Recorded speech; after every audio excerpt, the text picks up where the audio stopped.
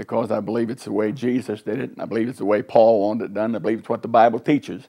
I believe it's the most effective way to invest your life. Because uh, until it gets down to a man man to man situation, all he's listening to is messages that have been canned or put together and getting ideas. But as far as fleshing it out, he won't have it fleshed out unless somebody fleshes it out for him.